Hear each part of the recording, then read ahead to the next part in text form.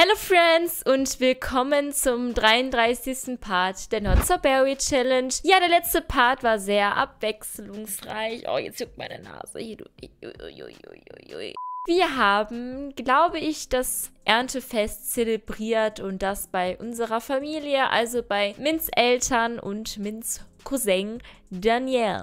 Nee, Daniel. Ja, egal. Auf jeden Fall war es wie immer sehr durchwachsen bei Mins Eltern. Wir kommen immer wieder an diese Grenzen von, äh, ja, da sind dann so ein paar Differenzen und so weiter und so fort. Aber anscheinend gibt es auch Differenzen. Also wir wussten schon immer, dass es auch Differenzen zwischen Mins Eltern gibt. Aber jetzt anscheinend noch größere. Denn wir haben durch Zufall erfahren, dass, ja, der Vater von Mint eine Affäre hat. Und das ist natürlich eine schwierige Situation für Mint, da sie ja entweder für Wahrheit schaffen kann oder auch sich da raushalten kann. Aber dann im Endeffekt ist es schwierig, da richtig zu handeln. Wir haben es auch nur erfahren, weil wir immer gesehen haben, wie der Vater immer so heimlich und für längere Zeit am Computer saß und dann haben wir uns mal da ein bisschen ne, reingefuchst. Aber wir starten jetzt einfach mal weiter und hoffen, dass Mint sich äh, richtig entscheidet, wie sie handelt und es nicht noch zu mehr Strapazen führt. So, wir sind zurück. Ich habe schon wieder vergessen, dass wir ja das Haus wieder verlassen haben von den Eltern. Aber jetzt sind wir wieder hier und jetzt stellt sich wieder die Frage, was tun wir zuerst? Denn ich habe da so eine kleine Vision, die ich euch gerne mitteilen würde. Und zwar leben wir hier in einem Haus, das vielleicht ein bisschen leer ist, nur für zwei Personen. Und falls wir jetzt merken, merken, dass Mint und Becker wirklich noch mehr sich ähm, ja annähern sag ich mal, ich lasse es mal hier, hier nebenbei weiterlaufen, ähm, dann können wir auch irgendwann Becker fragen, ob sie bei uns einziehen möchte. Oh mein Gott, was geht denn hier ab? In Gedanken verloren vom Denker sein. Denker verbringen viel Zeit in Gedanken und Ideen. Angst vor dem Ertrinken von Selbstentdeckung. Mint hat etwas Neues über sich entdeckt. Ich bin kreativ von Selbstentdeckung. Mint hat etwas Neues über sich entdeckt. Wie friedlich und entspannt vom introvertiert sein. Mint genießt es ganz allein oder in einer friedlichen Umgebung zu sein. Zu viel denken vom introvertiert sein. Es ist spät, ich sollte schlafen vom Richter sein. Was? ist denn jetzt hier los? Also, Mint ist von sehr vielen äh, Gedanken geplagt. Und das können wir wieder darauf, ähm, ja, hinführen, dass sie viel darüber nachdenkt, was sie jetzt mit ihren Eltern anfangen soll, weil sie natürlich auch nicht möchte, dass die beiden sich trennen, weil es sind immer noch ihre Eltern. Aber sie weiß nicht so genau, was sie jetzt machen soll. Deswegen Genau, denkt sie so viel. Ich hoffe, dass Room jetzt mal endlich anfängt von was? Angst vor Duschen? Ich will nicht wirklich, ich will nicht wirklich darüber reden. Zwing mich nur nicht zum Duschen. Oh mein Gott. Okay. Alles klar. Das muss ich sagen, verstehe ich noch nicht so. Also, wo man jetzt genau sieht, wie viel er von irgendwas hat. Also, so wie ich das jetzt hier sehe, hat er noch richtig wenig von den ganzen Sachen. Was mich komischerweise sehr wundert. Aber ich glaube, das wird heute eine längere Nacht. Ich glaube, das müssen wir echt mit ihm jetzt mal machen. Er will jetzt ein bisschen Spaß haben. Das lassen wir ihm jetzt auch mal sein. Also Spaß haben, was auch immer. Aber Mint ähm, kann vielleicht mal noch so ein bisschen was kochen für die beiden. Verdorbenes Essen aussortieren. Sema Ben Benner Benergy. Du kannst gerne vorbeikommen, aber wer auch immer du bist. Alles klar. Ey, sie lässt sich das ja auch nicht zweimal sagen, ne? Pff, pff. Mint, warum trägst du eigentlich immer noch deine Anziehklamotten? Man weiß es nicht. Zieh das mal an. Super. Nee, du solltest jetzt gar keinen Kuchen essen, weil dein Sohn braucht auch später was zu essen. Und wir haben ehrlich gesagt keine Lust, dass er einen Zuckerschock erleidet. Deswegen um Wassermelonensalat. Das klingt doch wohl herrlich. Aber seit wann ist Mint introvertiert? Also ich weiß nicht, ich denke nicht, dass das stimmt. Also ich glaube, das ist irgendein Fehler, weil eigentlich ist sie überhaupt nicht introvertiert. Sie ist auch kein Senior. Okay, irgendwas spinnt hier, aber egal. Wenn Mint zu Ende gekocht hat, müssen wir Ruben nochmal eben was beibringen, weil ich weiß ja nicht, ne? Ich weiß ja nicht. Er hat auf jeden Fall Hunger. Das ist natürlich hier nicht so praktisch. Und möchte sie jetzt irgendwie mitspielen oder was ist ihre Intention? Man weiß es nicht. Ähm, Mint, du bist schon am Essen, das ist schön, aber eigentlich Okay, Ruben holt sich auch was zu essen. Was macht sie denn jetzt mit dem Spielzeug? Spielt sie gerade damit? Ich verstehe es gerade nicht, aber okay. Mint, lass Ruben doch einfach sich mal eben kurz was zu essen holen. Das wäre super. Wir können gar nicht damit spielen. Wieso konnte sie jetzt damit spielen? Das ist ja richtig komisch. Was hat Mint jetzt hier wieder? Ach so, in Gedanken verloren. Ja, wenn du gerade eh nichts zu tun hast, dann ähm, leg das eben weg und dann könntest du noch ein bisschen experimentieren, weil wir müssen noch ein bisschen hier weiterkommen mit unserer Tafel. Also da ist ja noch gar nicht viel los. Das wollen wir natürlich auch noch ändern und oh mein Gott, dieses Badezimmer. Es ist so, so schön. Jetzt guckt die mit dem hier einen Horrorfilm. Das kann doch nicht ihr Ernst sein. Ey, was guckt sie denn hier? Einen Horrorfilm mit unserem Sohn. Mit unserem Sohn. Äh, Entschuldigung, das kann ja wohl nicht ihr Ernst sein. Nee, geh mal, nee, hör mal kurz auf hier bitte. Danke. Ach nee, ich habe das Falsche gedrückt. Sie muss Analyse üben, oder? Ich weiß es gerade nicht. Was ist nochmal das Richtige? Gute Frage. Dein Sohn kann selbstständig kurz nach oben gehen. Das kriegt er hin. Okay, er ist oben. Dann kann Mint ihn einmal ganz kurz baden. Und das Wochenende werden wir uns komplett nur für Ruben nehmen, unter anderem, weil wir mit ihm unbedingt noch so was Verantwortung angeht, Bitte und Danke sagen. Das ist etwas, was für Mint sehr wichtig ist. Und ich glaube, das ist auch nochmal für sie so ein Punkt. Bevor er zum Kind wird, möchte sie das auf jeden Fall ihm auch noch beibringen, weil sie genau weiß, weil vielleicht ihre Eltern ihnen das auch nicht so beigebracht haben. Ich meine, Mint ist ja trotzdem gut erzogen, aber ob das jetzt wirklich wegen den Eltern ist oder einfach weil sie sehr selbstständig war, das wissen wir nicht genau, weil wir eben auch nicht so, so lange schon bei Mint dabei sind. Aber ich bin auf jeden Fall sehr gespannt auf das Wochenende, weil wir haben jetzt auch wieder ja, sehr viel gearbeitet und das haben wir auch mal wieder dringend nötig hier ein Wochenende. Ne? Für Sachen, die wir sonst nicht geschafft haben, für Sachen, die wir mal machen wollen. Deswegen ist es auch das Richtige, wenn ähm, ja, Minch Ruben sofort ins Bett bringt, weil es wirklich schon ziemlich spät ist. Er ist ziemlich müde. Nörgel, Nörgel. Ich check es gerade gar nicht. Äh, okay, also ich glaube, dass sich daran, dass irgendein neues Update Update hier herangebrochen ist und deswegen ein paar Sachen hier ein bisschen falsch laufen. Aber ich glaube, das ist jetzt für einmal in Ordnung. Wir wissen ja trotzdem ne, unseren Teil dabei. Wir können jetzt da trotzdem so interpretieren, wie es realistisch wäre. Was mich schon die ganze Zeit gestört ist, ist, dass das halb auf dem Fenster ist und halb nicht. Das hat mich einfach die ganze Zeit so gestört. So, Ruben ist eingeschlafen und auch Mint kann sich jetzt zu Bett begeben. Ähm, die komische Frau, die irgendwie sich verhalten hat wie ein Kleinkind, also jetzt nicht übertrieben, sondern sie hat sich wirklich verhalten wie ein Kleinkind, hat hier ein Spielzeug geholt und was auch immer, äh, ist jetzt auch weg. Das ist natürlich wahrscheinlich das Beste für uns alle. Beide sind nun am Schlafen und wir sehen uns morgen wieder, wenn wir entscheiden, was wir mit unserem Wochenende anfangen werden. Ach, Rauferei in der Nachbarschaft ist heute. Okay, das ändert natürlich all unsere Pläne, die wir ja eigentlich gerade wollten. Ja, das ist natürlich ein bisschen ungünstig, dass wir jetzt die Rauferei in der Nachbarschaft heute haben. Aber wem wollten wir schon immer eine Lektion erteilen in unserer Nachbarschaft? Wer hat sich immer ähm, ja, okay, sie ist eigentlich immer nett gewesen. Die Mutter mögen wir eigentlich auch ganz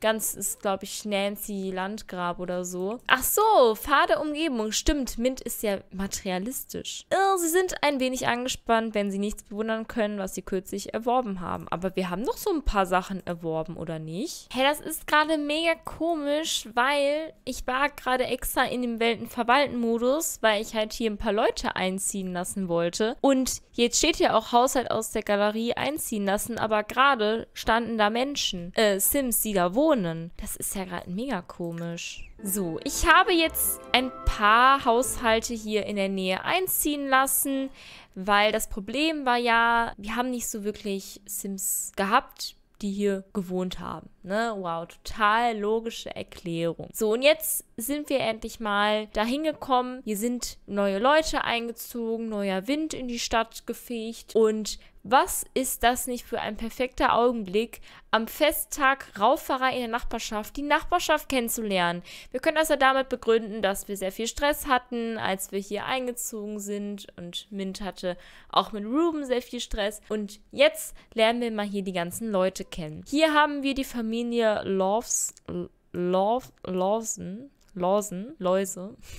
Lawson. Lustig vorstellen. Mint ist immer lustig dabei. Okay, Mint hat irgendwie welche, immer irgendwelche Probleme, aber ist ja auch egal. Das sind nämlich nur Probleme, die, glaube ich, wieder ne, von dem komischen Dings kommen. Eigentlich wollen wir ja mit jemandem kämpfen, aber wir wollen ja eigentlich uns jetzt hier nicht wieder neue Feinde machen. Also eigentlich, ich weiß ja nicht. Wir klopfen einmal an die Tür und gucken mal. Ich bin nur ein bisschen niedergeschlagen mit Danke, dass du nach mir siehst. Ja, wir sehen, dass sie traurig ist. Wir wissen leider nicht warum. Ruben macht, was er möchte. Ne? Daran stören wir uns jetzt gerade nicht.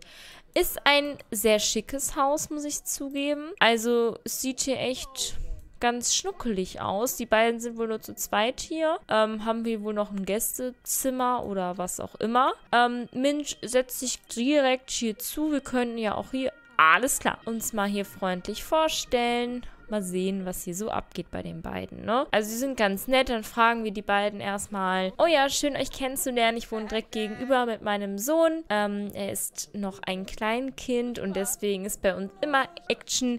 Wie kommt ihr denn hier in die Stadt? Und dann können wir sagen, äh, nee, dann sagen sie, ja, wir sind jetzt frisch verheiratet und wollten einen gemeinsamen Haushalt eröffnen, wollten zusammenziehen. Und da haben wir dieses Haus gesehen, was wir unbedingt äh, haben wollten, weil es einfach so schön war. Und deswegen haben wir uns dann hierzu beworben. Und wir wurden tatsächlich auch genommen. Und wir sind da sehr froh drum und hoffen natürlich, dass hier alles gut läuft. Einmal wollen wir uns prügeln, weil dann haben wir mal die Rauferei in der Nachbarschaft erfüllt. Und wenn nicht Mint, wer dann? Sie hat sich ja auch schon mit Bako geprügelt und da hat sie ja auch gewonnen. Deswegen hoffe ich mal, geht das jetzt hier. Oh Gott. Oh mein Gott. Oh mein Gott, was habe ich denn jetzt hier für ein Bild eingefangen? Perfektes Bild eingefangen. Ähm, ich hoffe, das ist sie jetzt alles ganz gut und oh mein Gott, ist das laut. Beruhigt euch. Ja, Mint hat gewonnen. Hat sie gewonnen? Sie hat gewonnen, oder? Ja, wegen eines unversehrt überstandenen heftigen Handgemenges von sich Selbstsicherheit gestärkt. Hä? Was? Sie haben sich danach umarmt? Oh mein Gott. Nee, nicht streiten, das wollte ich nicht. Hä? Ich dachte jetzt, dass die voll Stress haben. Minz Erinnerungen, Wein über das Miterleben des Todes, sich über den Kampf beschweren, Lüge über, über gewonnenen Kampf. Prahle mit dem ersten Kursgespräch über die letzte Dusche. Oh mein Gott, das ist ja auch alles neu. Das ist ja richtig krass. Oh mein Gott, ich wusste gar nicht, dass so viele neue Sachen hier sind. Wut. In letzter Zeit geht bereits der Anblick von Jenny Mint auf die Nerven. Wie kann Jenny es nur wagen, einfach aufzutauchen? Ja, die beiden sind wohl doch nicht äh, so happy miteinander. Aber es hätte mich ehrlich gesagt auch ein bisschen gewundert, wenn es so gewesen wäre. Ja, okay, den Haushalt haben wir jetzt auf jeden Fall auch mal kennengelernt. Wir wissen jetzt auch, wieso sie hier sind. Mit der Jenny haben wir, glaube ich, uns das ein bisschen jetzt verscherzt, aber wir wollten halt mal so ein bisschen den Feiertag zelebrieren. Das haben wir jetzt auch gemacht.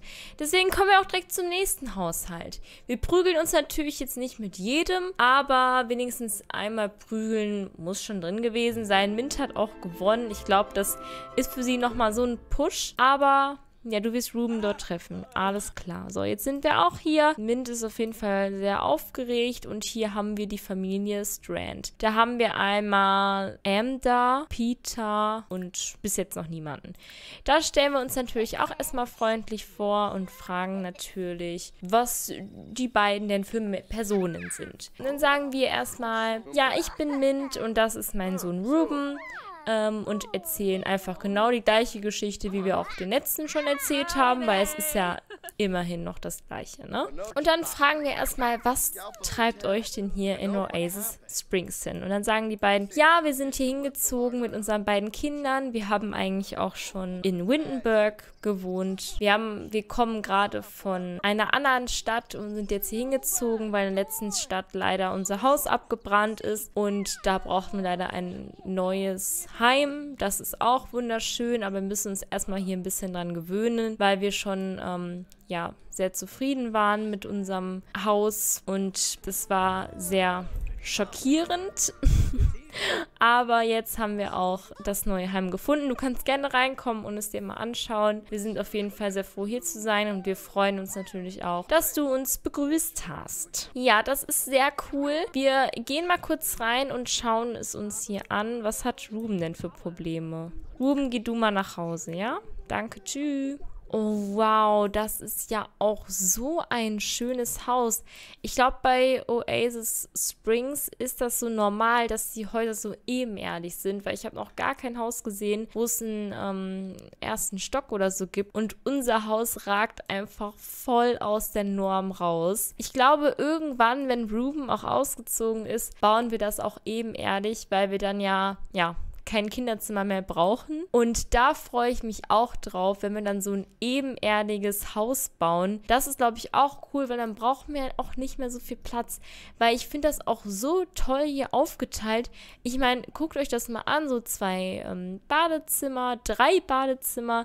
Also ist wahrscheinlich auch üblich, dass die einzelnen Schlafzimmer ein eigenes Bad haben, was ja auch mega cool ist. Ja, wir können die Kinder natürlich auch uns noch einmal lustig vorstellen. Was vielleicht auch, wenn Room dann älter wird, auch cool ist, wenn ähm, er auch dann so ein paar Kinder kennenlernt aus der Nachbarschaft. Dann hat er nicht einen langen Weg, um mal mit denen zu spielen oder was auch immer. Ähm, wir unterhalten uns auf jeden Fall mit ihrer Tochter. Ich weiß nicht, ob sie jetzt nur ein Kind haben oder zwei. Anscheinend. Ach hier, guck mal. Hier ist noch der andere Sohn. Da können wir auch noch mal kurz Hallo sagen. Wie gesagt, ich stelle mich hier ähm, jetzt nur mal vor. Oh, die Mutter ruft an. Wir wissen nicht wieso, aber wir ähm, ja halten ja Abstand, weil wir nicht in die Situation kommen wollen, dass wir ihr irgendwas sagen, uns erklären müssen, ob sie irgendwas geahnt hat und wir nachher auch als Lügner dargestellt werden. Damit wollen wir uns jetzt heute erstmal nicht beschäftigen. Tschüss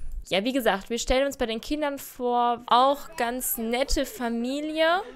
Ähm, aber Mint hat schon direkt sich ein Bild natürlich von beiden Familien gemacht, die wir gerade kennengelernt haben. Die ersten beiden waren ein bisschen hochnäsiger und die sind so ein bisschen ähm, bodenständiger. Das ist jetzt nur Mints Empfinden von den beiden. Ähm, weil die sich ja jetzt auch mal, genau. Ja, Mint hat auf jeden Fall Spaß, weil sie liebt es ja auch, neue Leute kennenzulernen und da freut sie sich auf jeden Fall auch, hier noch ein bisschen zu quatschen. Ähm, das finde ich auch ganz cool gemacht. Das ist hier so ein richtiger Platz ist. Okay, bevor ich hier noch mehr von dem Haus schwärme, gehen wir direkt weiter auf unserer Tour und besuchen dieses Haus. Mal sehen, wer da so wohnt. So, Haus Kleingeist. Ich bin sehr gespannt, wer uns jetzt die Tür öffnet. Hä? Wohnt er nicht da? Ist er uns jetzt gefolgt? Ich blick da gerade nicht so durch. Ähm... Naja, kann auch sein, dass er hier wohnt. Auf jeden Fall haben wir hier die Familie Johnson. Ach so, nee, nee, nee, er wohnt hier. Er sieht einfach nur fast genauso aus wie gerade, aber ist ja auch egal. Erstmal sitzt hier eine schwangere Dame. Dann fragen wir sie natürlich erstmal, wer bist du? Und ist ja auch komisch, man setzt sich direkt dazu auf dem Sofa, ohne überhaupt zu fragen, wer sie sind. Ach so, sie haben es jetzt gemerkt und wollen jetzt erstmal wieder ein bisschen normal sich verhalten.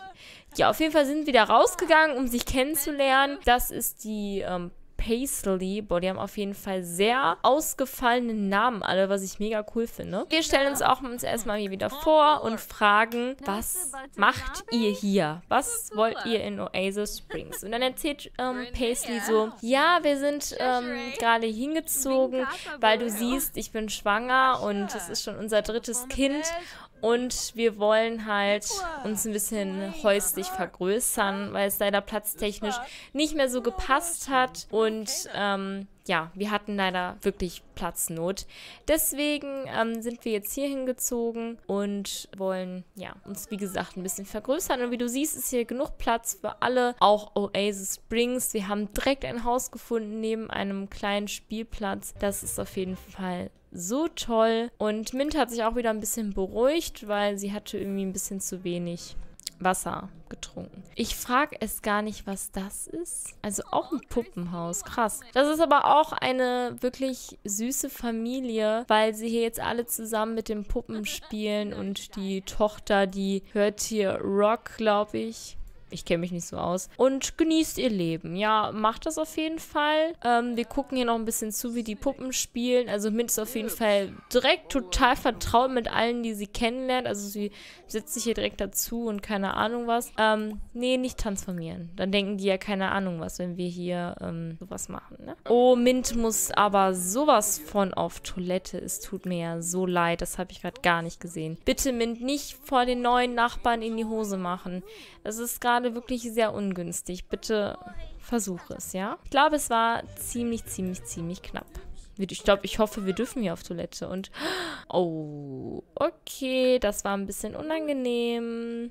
Ja, auch für Mint sehr unangenehm. Aber macht hier nichts draus. Ähm, das vergessen die bestimmt auch nochmal. Jetzt haben wir die ja auch alle kennengelernt. Wir können nochmal zu der lieben Millie gehen und uns da auch nochmal ein bisschen vorstellen. Und dann gehen wir aber auch wieder zu Ruben, denn wir wollen ja auch ihm noch ein bisschen was beibringen. Ich lasse mit nochmal eben kurz Zeit, weil ich habe das Gefühl, dass sie gerade sehr viel Spaß hat, auch wenn sie das jetzt sehr unangenehm fand, ne, mit der Toilettengeschichte. Aber ich glaube, sie hat sehr viel Spaß, mal wieder neue Leute kennenzulernen kennenzulernen. Weil das ist mir ja auch beim letzten Part wieder aufgefallen, dass wir lange keine neuen Leute mehr kennengelernt haben.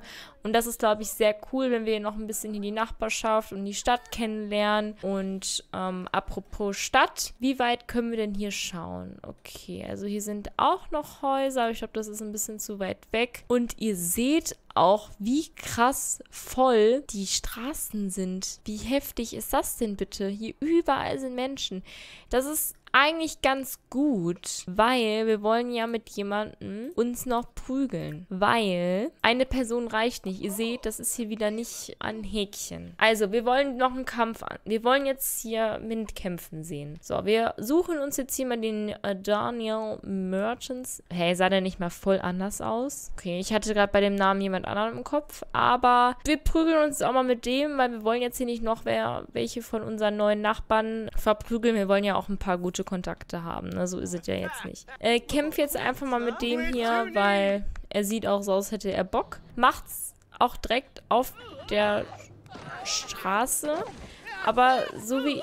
Oh, Mint. Bist du stärker als er? Bist du stärker als er? Oh, oh, oh, oh, oh mein Gott. Oh, Mint, du bist so eine Maschine. So eine Maschine. Nein, und dann kommt ernsthaft, wegen Gefühls der Vertrautheit mit jemand in der Nähe. Das kann ja nicht wohl ernst sein. Okay, wir wollen den nächsten Kampf sehen.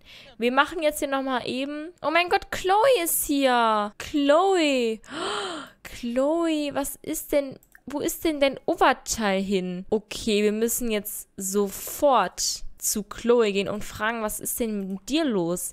Warum hat, läufst du mir über ohne Oberteil rum? Ja, ich weiß, dass irgendwie Oberteil sich weggebackt hat oder so, aber Chloe, du kannst hier doch nicht ohne Oberteil rumlaufen. Wie geht's deinen Kindern überhaupt? Wir haben uns so lange nicht mehr gesprochen. Oh mein Gott. Diese Familie ist ja so krass. Ich weiß nicht, ob ihr das gerade gesehen habt. Die haben mir gerade alle zusammen getanzt. Oh mein Gott, das ist ja so heftig. Chloe, beachtet sie uns nicht? Chloe, wir rufen dich gerade herbei. Was ist denn mit dir? Oh mein Gott. Ignoriert sie uns gerade? Ignoriert sie uns gerade? Jetzt müssen wir noch hinterherrennen. Sie ist irgendwie weggegangen. Wir wissen nicht wieso. Wir schauen jetzt mal, wie sie mit uns spricht, ob irgendwas ist, ob sie sauer ist, dass wir uns so lange nicht mehr gemeldet haben. Also ist es echt krass, wie viel Chloe und Mint an Beziehung verloren haben. Also es ist schon ein bisschen traurig, wenn ich ehrlich bin. Tiefe Bindung, man merkt auch direkt, wie krass sie sich eigentlich verstanden haben und wie lange sie sich nicht mehr unterhalten haben haben. Wie wertvoll Mint schätzt enge Beziehungen. Das passt auf jeden Fall alles. Wir haben uns eigentlich schon genug geprügelt. Ich weiß nicht, wie oft wir uns eigentlich noch prügeln sollen, weil irgendwann reicht es ja auch. Geld brauchen wir immer, deswegen nehmen wir mal eben kurz hier die Sachen mit. Wie viele Sachen sind hier denn bitte? Ja, wir werden Chloe auf jeden Fall auch nochmal einladen oder uns nochmal ja, mit ihr unterhalten, weil es ist lange her, wie wir festgestellt haben. Und wir wollen ja jetzt auch nicht den Kontakt so komplett mit ihr verlieren, weil sie uns halt, wie gesagt, wirklich wichtig ist und das wollen wir natürlich nicht irgendwie auf die Probe stellen oder was auch immer. Das ist natürlich nicht Teil des Plans. Nee, ich habe es in der Entfernung mir schon gedacht. Guck mal, wer hier ist. Mr. Beck. Nur zum Zelebrieren, hier ist er und hier ist unser Haus. Wie gesagt, ich nehme noch mal eben kurz hier die Grabsachen mit. Dabei beobachte ich ein bisschen äh, Mr. Beck, was der hier so anstellt. Und dann ähm, es auch sofort nach Hause, denn wir haben ja noch Pläne mit, ich wollte jetzt schon Nathan sagen. Mit Ruben haben wir noch Pläne. Mint, beeil dich mal kurz und dann sehen wir uns gleich bei Ruben wieder. Good morning, Spaß. Good Morning ist es auf keinsten. Wir schauen mal kurz. Auch jetzt haben wir auch hier so eine Schatzkarte bekommen. Wir haben Rosenquarz bekommen. Das hatten wir bis jetzt noch gar nicht. Das ist ja so heftig. Ähm, wir öffnen eine und wenn die ein Reinfall ist, was ich denke, dann verkaufen wir den Rest einfach so. Einen Gong. Wow. Okay, wir verkaufen die jetzt so. Können wir die nicht verkaufen? Seit wann kann man die nicht verkaufen? Wir sollten vielleicht mal unsere Deko abnehmen. Ich glaube, das wäre das Allerbeste, weil der Feiertag ist ja jetzt schon wieder ein paar Tage hin. Nee, gestern war der Feiertag, genau. Meine Stimme verabschiedet sich auch schon. Das sind wir ja nicht anders gewohnt. Ähm, Mint, du mit deinem Schokokuchen. Wir haben auch extra Wassermelonensalat gemacht. Was ist denn hier los? Sie isst mal kurz was. Ja, du kannst dich auch natürlich hier hinsetzen. Ne? Gar kein Problem. Wir haben zwar einen Esstisch, aber pff, gönn dir. Setz dich unter die Treppe. Gar kein Problem. Jetzt nehmen wir uns aber Zeit für Ruben. Es ist leider schon ein bisschen später, aber wir hatten leider so ein paar Plänchen und es war auf einmal halt so Rauferei in der Nachbarschaft. Wir haben neue Nachbarn und alles Mögliche. Wir haben auf einmal Chloe getroffen, die mit äh, ja nun einem BH durch die Stadt gelaufen ist, was auch immer da abgeht. Es war für uns einfach nochmal ein Zeichen, dass wir ja, uns nochmal mit ihr treffen sollten und mit ihren Kindern, weil ich denke, die Kinder sind jetzt schon Teenager okay, wir nehmen uns morgen den ganzen Tag für Ruben, aber wir müssen jetzt unbedingt zu Chloe.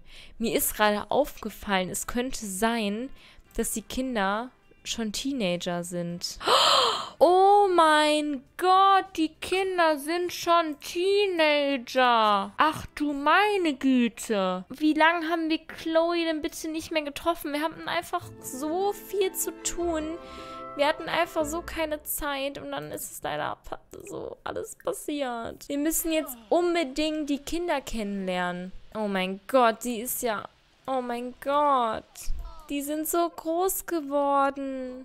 Sie sind so groß geworden. Und jedes Kind hat einen komplett komplett unterschiedlichen Style. Guck dir das an. Er ist so cool, sportlich, sie ist so süß und sie ist so richtig ähm, schicki. Also die Einrichtung passt nicht ganz dazu, aber ähm, wir lassen es einfach mal. Wow, es ist so krass. Also Mint wird jetzt zuallererst sagen, wie groß seid ihr bitte geworden? Ich war, als eure Mutter euch aufgezogen hat. Ich war so oft bei euch. Ich habe euch aufwachsen sehen. Jetzt seid ihr einfach Teenager und ähm, seid bald fertig mit der Schule und wow, verzückt, weil umarmt wurde. Oh ja, Umarmungen, ja, knuddeln mich.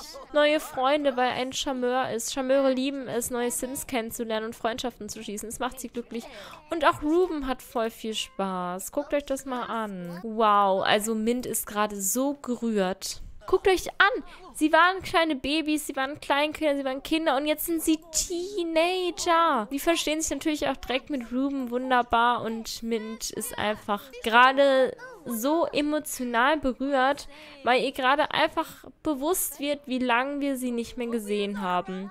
Und besonders auch Chloe. Ich weiß gar nicht, wann sie Seniorin wird. Das ist einfach so krass. Und dann wird Mint natürlich nochmal Chloe sagen, Chloe, du hast einfach so einen tollen Job gemacht. Guck dir deine Kinder an. Sie sind jetzt einfach schon fast erwachsen und ähm, trotz aller Hürden und trotz allem hast du das einfach so gut gemeistert. Also du bist echt ein Vorbild für mich, wie du deine Kinder einfach so, weiß ich nicht, hier so viel Herzblut und keine Ahnung reingesteckt hast und du hast dich von nichts aufhalten lassen. Mint ist gerade einfach nur schockiert. Also Chloe sollte sich jetzt mal langsam Oberteil anziehen, aber die beiden witzeln noch rum wie am ersten Tag. Also bitte lasst euch jetzt nicht davon stören, dass sie kein Oberteil anhat.